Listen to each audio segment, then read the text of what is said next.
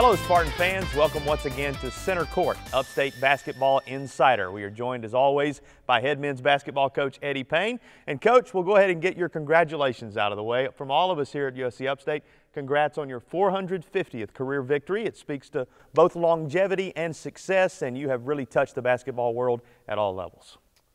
Well, thank you. I mean, you know, I didn't even know it till after the game. Uh, Ty texted me about it, and uh, so that was nice. What was really nice is when your players text you about it because uh, I didn't know. Well, I didn't know. So uh, you know, that's we'll just hopefully we want to get 451. That's what we want next. Well, when the guys are aware of it, it speaks to what you mean to them. Let's get to the details of basketball now. A couple of big games we look back at. A tight one against Florida Gulf Coast, and then a win that gets you back in the W column in conference play against Stetson over the weekend. Well, yeah, I mean, the Gulf Coast game, after the first 10 minutes, I think we played, you know, we probably played better than they did, but we dug ourselves a hole. Um, they hurt.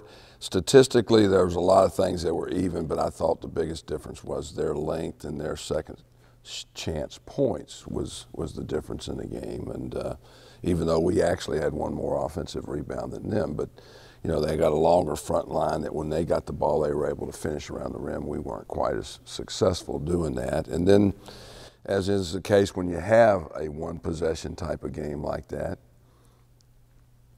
eight to 10 plays that you look at on tape could easily be reversed if something fairly minor had happened, and, um, but that didn't happen, so it was a very uh, disappointing and tough loss. Let's take a look back at that Florida Gulf Coast contest as well as the game against Stetson. Here are highlights and recaps from the two games this past week. On a memorable Thursday evening for all who were inside the Hodge Center on the campus of USC Upstate, the Florida Gulf Coast Eagles come away with a 71-68 win over the Spartans Upstate for the third consecutive game. Has a look at the end to try to either tie or win the basketball game, and they come up short for a third straight conference loss, Phil. Boy, a tough one. I mean, just uh, tooth and nail, grinded out type of basketball game. Upstate finally kind of got over the hump, got the lead, but give the Eagles credit down the stretch, making the shots they needed to, some cr crucial second chance points for the Eagles, and uh, they handed the Upstate their third consecutive loss, as you said. This game was everything we expected it to be, and as we take a look back at some of the highlights from this contest, you'll see a lot of Ty Greene. He's our Spartan of the game. Before we get to his specific numbers, though, these are the key moments for Upstate from tonight's very intense battle. You see Greene feeding it off to Schulte there for the bucket. Then probably the play of the game, or one of the plays of the game for Upstate. Stevens with the touch pass, and then Greene with the finish. Greene pulling up. Tough jump shot doesn't go. But again, loose balls, Jason. We saw a lot of second chance, kind of loose ball, just junk baskets as Greene penetrates and pulls up. A great night for him, but Upstate falls just short. Greene ends up with 26 points overall. And as we take a look at his numbers, came very close because of his efforts defensively, offensively, very close to his career high offensively, and certainly with his all-around performance, one of the better outings of his career. He seems to always have them against Florida Gulf Coast. He does, and that's a, definitely a team that you want him against. You see the 26 points really uh, sticks out as the number there. Took 24 shots to get it. I think only made one three tonight, but a great offensive output for the senior from Knoxville, Tennessee. Upstate tied the game three times they end up falling by just that many points. And let's take a look at the overall stats. Here's our game summary. Anything you want to point out from here, Phil? Well, not really one stat, just the closeness of them all. You take a look at it and just right down the line, almost everything right there really close. But we mentioned it so much tonight. The second chance points, Florida Gulf Coast with 19 to Upstate's 11. And you see the three-point margin there. Boy, a couple of those swing the other way. Upstate make it out of here with the win.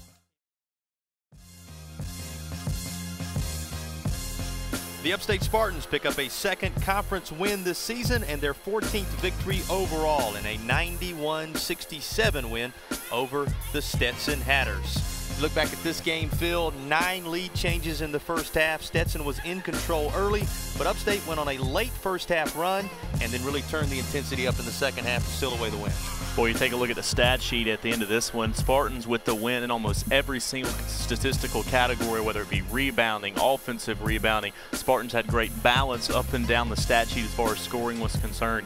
Uh, took a little bit uh, to get going for Upstate there in the start of the first half, but boy, they ran smooth. It was a well-oiled machine for about 30 of the 40 minutes for the Spartans. Let's take a look back at the highlights from this basketball game, and you will see the defense really did turn up for Upstate in that second half.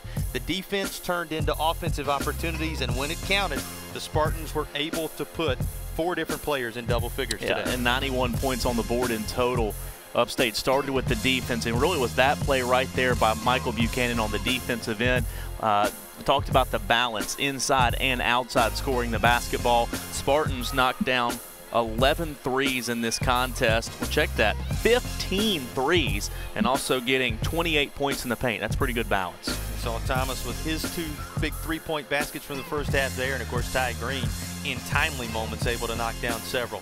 When you talk about individual performances in this game, really three different players you can talk about here. A double-double for Michael Buchanan, who made his presence known in this game. Shunquez Stevens ends up in double figures, and Ty Greene matches his career high. It is a career high for Stevens. It is a tie of the career high for Greene, and there are Spartans of the game able to knock down six of his seven jumpers from the from beyond the arc did Greene, but you got to know he wanted to get that last foul shot to go down to get 30 and get his career high. But Stevens with his career high, eclipsing what he did at Georgia Tech, 15 for him. So again, good balance and uh, great to see Upstate with kind of an offensive explosion. Their defense gets so much attention for how good they are on that side of the ball, but able to put a lot of points up this afternoon. You look at the numbers for the team as a whole as we take a look back at our game summary. Upstate shoots better than 50% from the field in this game.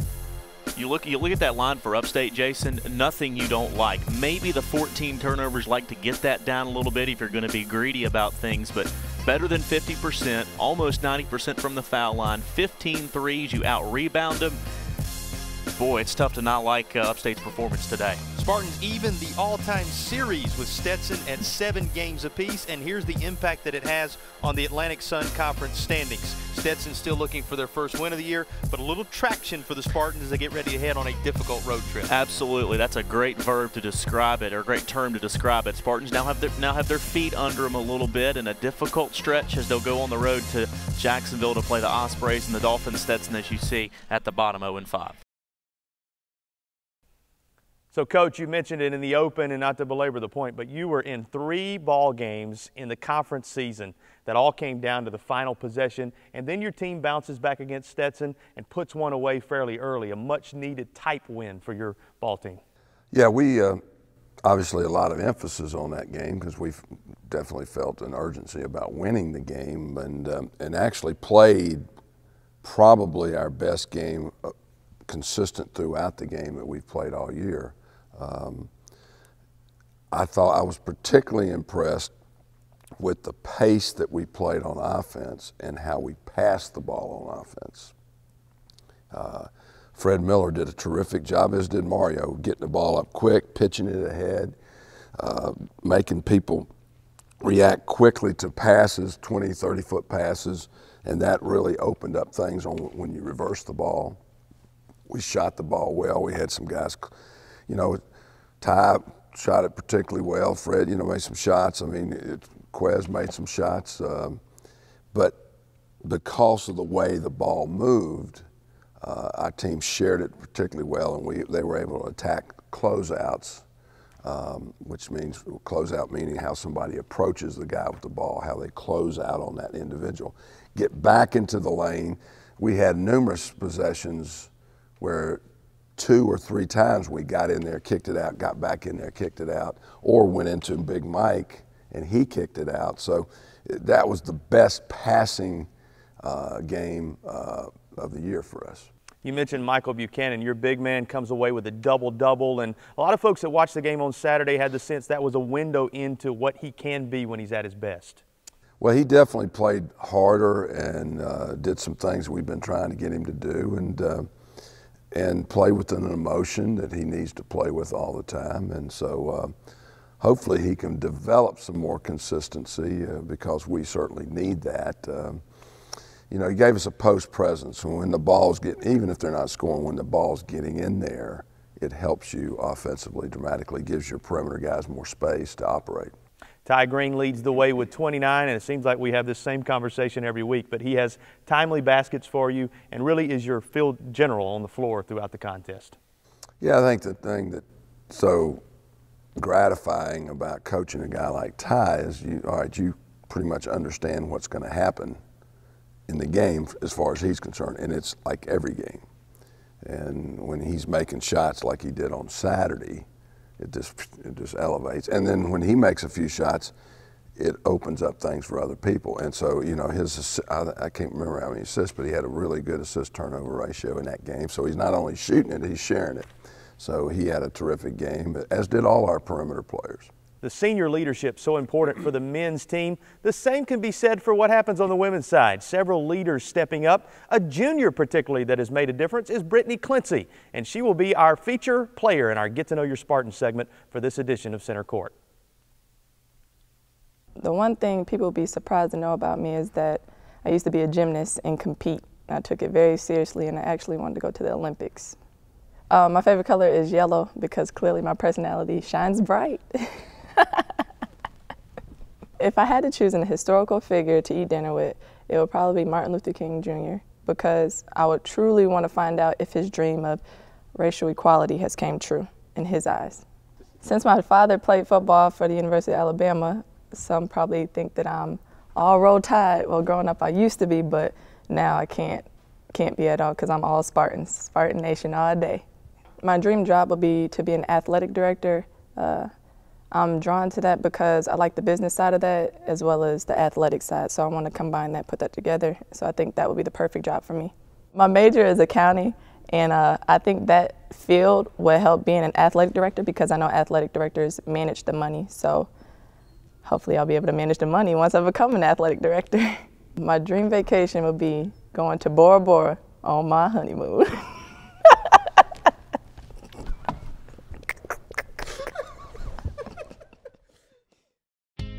people know you and they get to know you on a personal level and they know your abilities. And this is really a place where I have seen, and I mean this, this is a place where I've seen students come here and, and really try to figure out who it is that they are.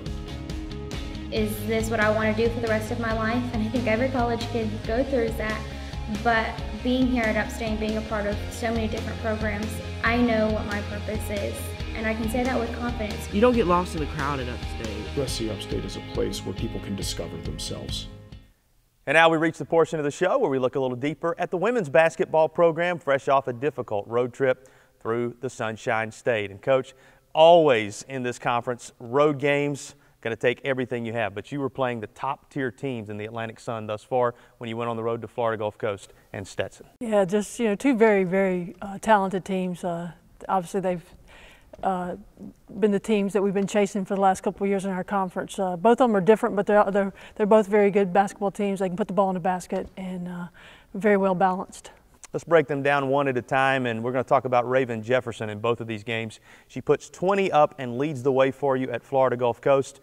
Break down that game for us. Yeah, she was definitely a bright spot for us. Uh, we were struggling scoring again. Obviously, we had some droughts, um, but she was a bright spot. She had 20 against Florida Gulf Coast. Uh, I think probably her career high uh, a good solid game for her. It's good to see her coming around. I'm very well pleased with her progress uh, in her two years here. She's really uh, showing signs that uh, she's getting better and better. And uh, she's, you know, she's starting, uh, started for the last two years and, and getting better and better. So that's a good thing for us to see. That's a positive to, to move forward on. Your offensive production as a team very limited at Stetson. She comes up with a near double double, just a rebound short of it. Walk us through that game just a bit. Yeah, just uh, you know, felt like the first half we, we had a we played with them for the most part for early on, and then we had a drought, and they took the lead, uh, you know, double digit lead at halftime. So we made some adjustments at halftime when we came out, and we shot 21% in the second half. They shot 25%, but we just couldn't get into that gap. I felt like our defense stepped up in the second half, but we, then again on the offensive end, we continued our struggles. And again, she was one bright spot, but we just struggled offensively to put the ball in the basket. Uh, we, uh, again, our, you know, good signs for our defense that we held down a team like that to 25%, but we just couldn't put the ball in the basket and, and uh, couldn't cut into that lead the best news when you have struggled a bit on the road is you get to come home. And you get the Jacksonville based teams here, the Dolphins first on Thursday night, and then North Florida on Saturday. A couple of big games coming up as you try to refine a little traction in the conference. Yeah, I think I think this weekend is, is you know, you know crucial to us for, for, for, for the rest of the year to set the tone. Obviously, we're at home. We play well here. We've had some success here. Um, we just got to get back on track and, and uh, get it going. And put. A, I'd like to see us put a complete game. We haven't played a complete game all year long. We, we play minutes or this, you know, a few minutes here or there. But uh, coming back home, two, two straight home games, hopefully we can put together, get a nice little streak going. When you're in the midst of a situation like you are right now, and you know you're coming home and there's a chance to really turn things against teams like Jacksonville and North Florida, what are the steps you take as a coach to try to get the team ready for that? We just got to, you know, come in, you know, start, you know, just work. We got three days to prepare, so we just got to work hard each day and, and, and get that mindset. And it's got to start today, you know. Each day we got to come in with that mindset that, you know, we're at home, we're in our comfort zone, we just got to work hard and, and, and, and, the, and the result will take care of itself. We just work hard. We mentioned Raven Jefferson. Is there anybody else that you've noticed, maybe in practice or in the last couple of games, that you see as a player for you that maybe is on the verge of something special? Yeah, I think Clency's stepping it up a little bit for us. Uh, she's struggling scoring, but she does she does the little things for us that you don't always see in the stat sheet. Maybe the scoring, but uh, she handles the ball, handles the pressure. It's in her hands majority of the time, and she's doing a good job of, of you know handling the basketball and taking care of the basketball for us. And what's the health of your team like coming into these two important home games? We still got uh, Kristen Dickerson is out, and still uh, Lauren uh, Bogle is out. Uh, we're still it's day to day with them. We're hoping uh, possibly this weekend, but uh, not sure it's day to day. We're just we're, we got our fingers crossed and hoping they'll be back with us very soon. Well, Coach, we look forward to seeing you back here at home, and we wish you all the best this week. Thank you. That's a look at what's going on with the women's basketball program. You'll want to come out, pack the Hodge against Jacksonville on Thursday night and again against North Florida on Saturday. A couple of big games for Upstate to climb the ladder in the conference standings. We'll be back with more center court right after the break.